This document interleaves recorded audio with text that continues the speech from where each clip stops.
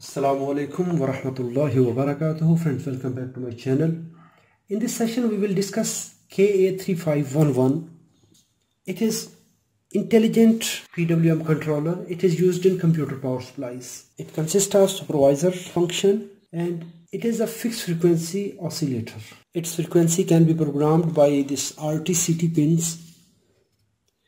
When it is programmed it will provide the same frequency but it will change its pulse width modulation. So this IC is working in PWM technique. It is not changing frequency to adjust the voltage to regulate the voltage. This IC is in two package. Dip IC it is in 22 pins that is KA3511 and KA3511DS or BS that is 24 pin. There is nothing difference. In 24 pin IC, pin number 12 and pin number 13 are not connected. So pin number 1, 2, 3, 4, 5, 6, 7, 8, 9, 10, 11 and here pin number 11 last PG pin, here is last PG pin, power good signal. And then we will skip two numbers. 11, 12, 13, 14 and last one 22. Here the same pin number 11 and last two pins are spare not used.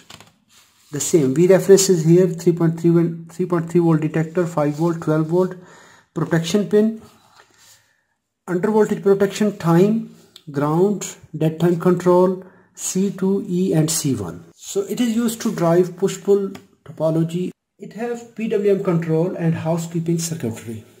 VCC supply is applied here at VCC pin. When the startup circuit will detect the charging voltage at VCC capacitor, at that time it will start its V reference circuit. V reference circuit is 5 volt. When the startup time will complete, the capacitor will charge, it will turn on internal bias circuit and V reference and it will provide 5 volt reference at output pin that is pin number 14. In this IC, it is pin number 14 and in 22 pin IC it will pin number 12 so it will provide 5 volt. The same 5 volt will provide it to the dead time control. When RTCT is connected timing resistor timing capacitor is connected at that time the oscillator will start oscillating.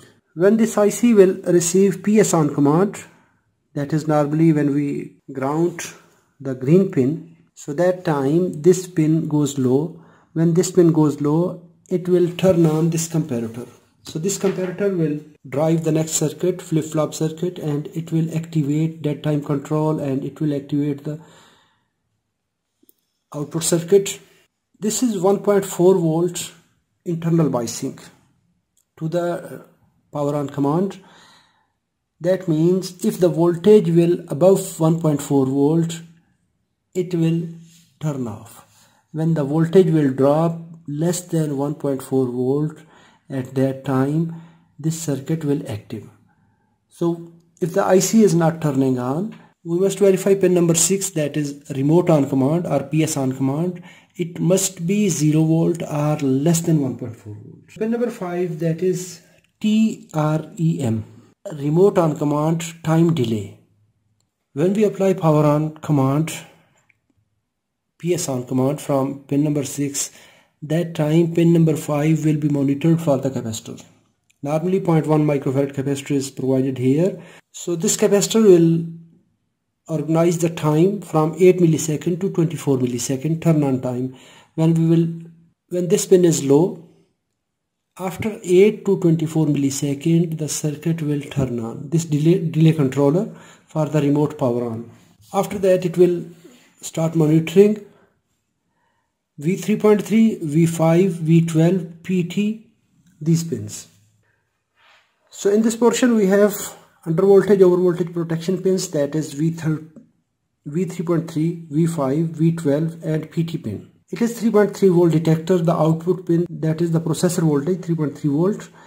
If this pin will remain around 3.3 volt that is good. If it will drop less than 2.3 volt at that time this low voltage comparator will activate and it will turn off the system. If the voltage will go above 4.1 volt at that time this comparator will active and it will turn off the power supply. So in both cases it have to monitor the voltage. Then we have 5 volt comparator. That is pin number 16 pin number 16 is 5 volt. I am discussing KA3511BS or DS that is 24 pin IC so V5 it is 4.6 volt under voltage. The upper voltage 6.4 volts if the voltage will remain in this window this IC will remain active. For 12 volt over voltage 4.2 volt and under voltage that is 10 volts. This over voltage protection have an extra pin that is PT this is special function pin it is over voltage protection. We can monitor any one pin by using voltage divider network. If this pin will go above 1.2 volt at that time this IC will say that there is short circuit. So most of the time this pin is enabled. When this pin is enabled the IC will remain off. If any pin will go below from these levels this comparator will activate. If any pin will go above than this voltage 4.1, 6.4 and 14.2 volt for these three pins, this IC will turn off. The second problem, sometimes there is load imbalancing. For example, the supply is working good. Any one pin becomes low due to short circuit. For example, 3.3 volt, it is dropped. It have a short circuit, it have a bad capacitor, it have a bad rectifier. At that time that pin will decrease than this volt. When it will decrease the same time the other pin will increase. Because to compensate the load effect at this pin this IC will increase its duty cycle. When it will increase its duty cycle the other two pins will increase.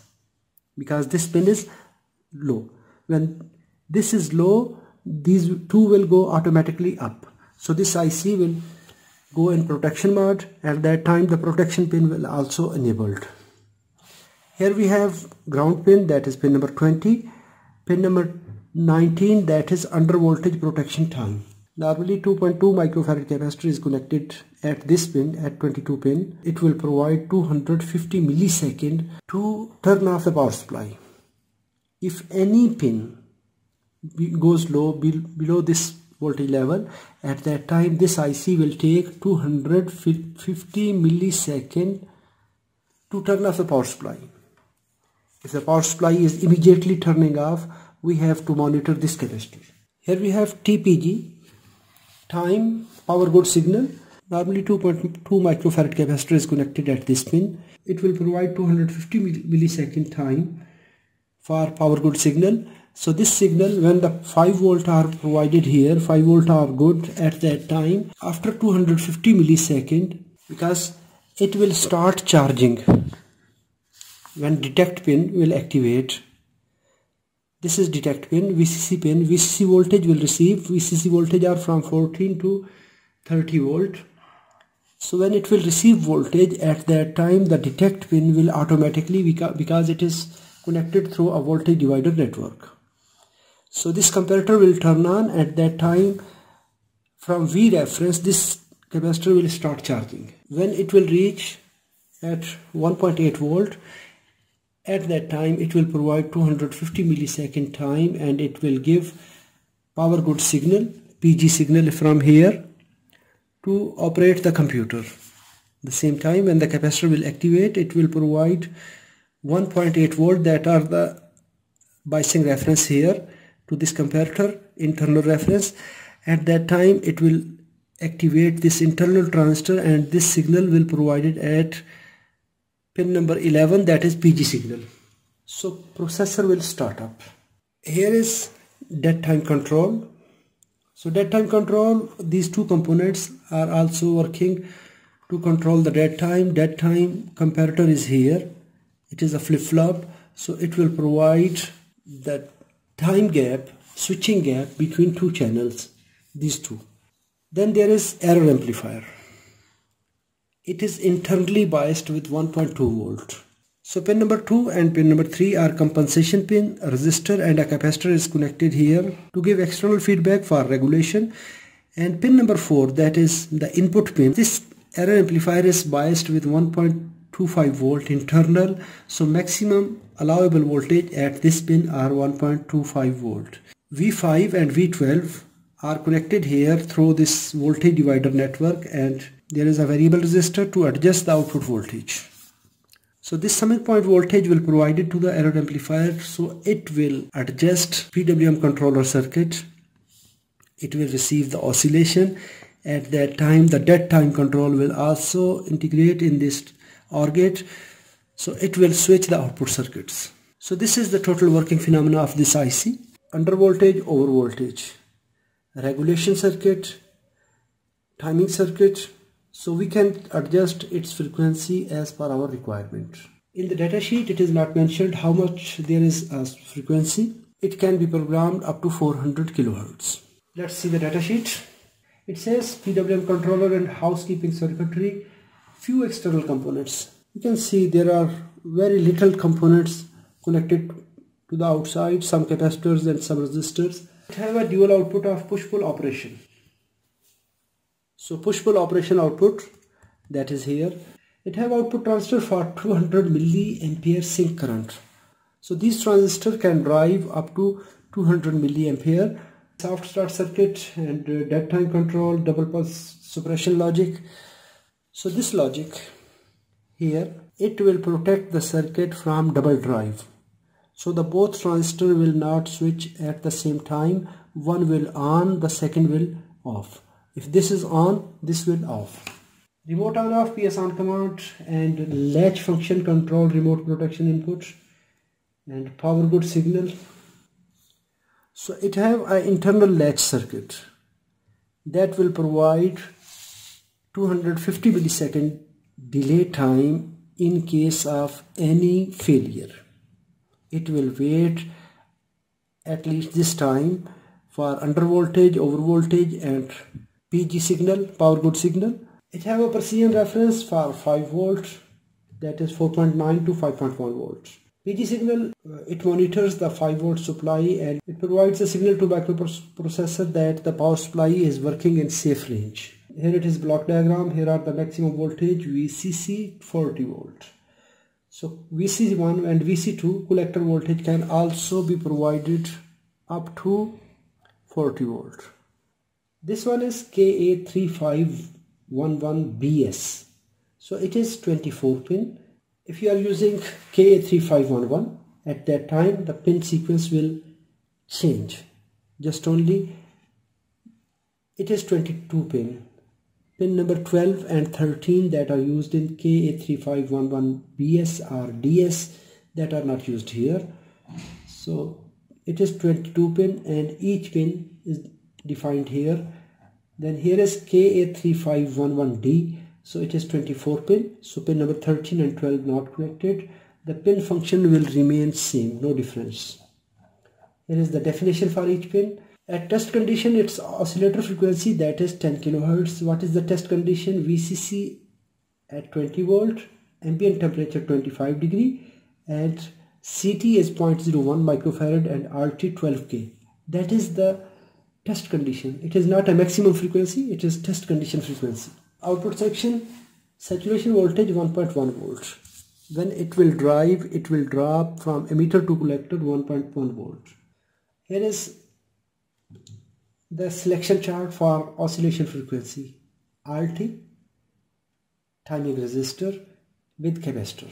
When VCC is 15 volt, so we can say it is working up to 400 kilohertz it is here is the timing sequence the dead time control that is here then it have our ramps RT and CT ramps that is oscillation frequency here is clock signal Q and Q bar that are the flip-flop circuits here.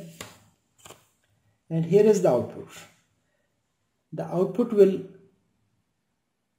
switched by flip-flop circuit using this voltage that is the feedback voltage and the dead time control. What is the dead time level and the startup level.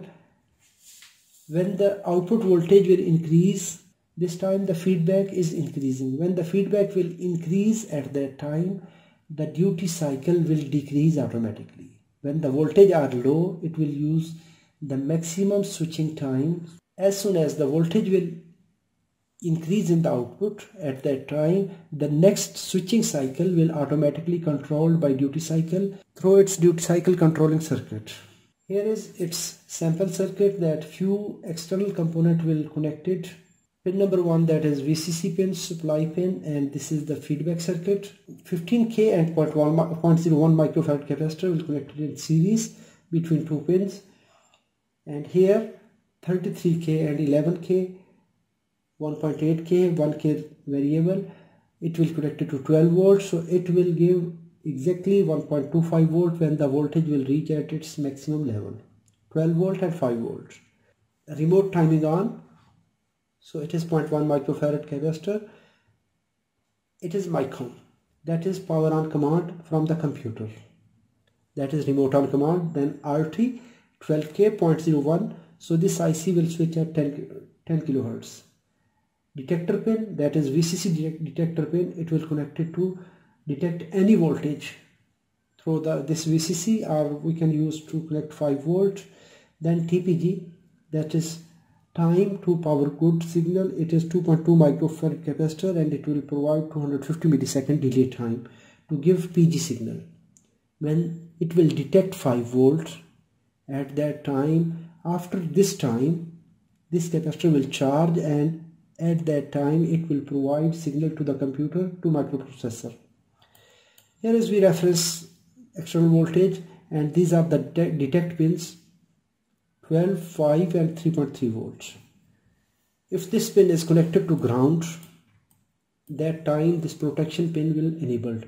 As i discussed sometime this pin is activated. When it is activated you can ground it this pin directly. That time this protection will disabled. Now the next question. If you want to control this IC to disable the supervisor pins, for example, you want to use it for 12 volt, just only remove 5 volt and 3 volt and connect exact 3.3 volt by using external zener and 5 volt to using some zener. So these two pin will get a exact level. At that time you have to connect 5 volt the same 5 volt this one at this pin. You have to disconnect the circuit and you have to provide 5 volt here at that time you will connect 12 volt at this pin. Or you can connect 12 volt external as well. So all the protections will bypassed using this method. Just only you have to give the regulated voltage here.